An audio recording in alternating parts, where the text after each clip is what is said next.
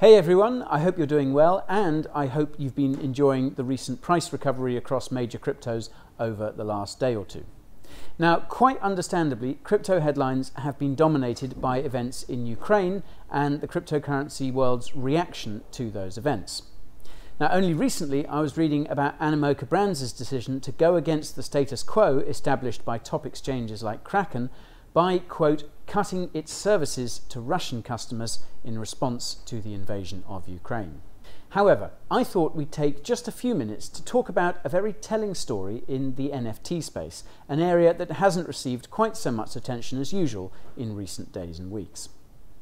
Now, some of you may have heard about the recent debacle involving a project called Pixelmon. As you may have guessed by the name, Pixelmon is a project inspired by traditional games like Pokemon, looking to establish a leading game in the blockchain space complete with its own metaverse and NFTs. According to the project's site, quote, our vision for Pixelmon is simple create the largest and highest quality game the NFT space has ever seen. The aim is to build a virtual metaverse where you can play with friends, battle and train Pixelmon, trade items, decorate your home, and customize your virtual character.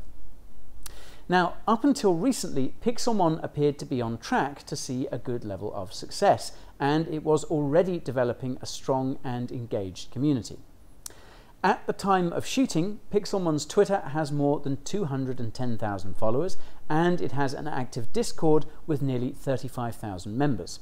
It's even witnessed a successful mint drop issued via Dutch auction and beginning at a 3 ETH mint, meaning some minters paid more than 8 $1,000 for a Genesis Pixelmon NFT.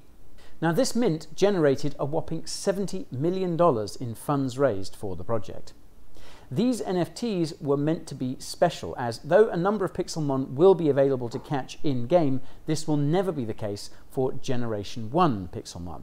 They will only be available at Mint and on the secondary market.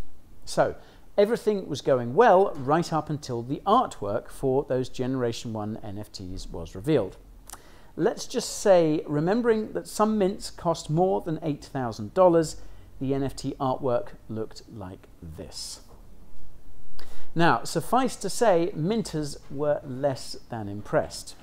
Pretty soon, the reveal was being dubbed comical by pundits, with one commenter taking to Twitter with the following message.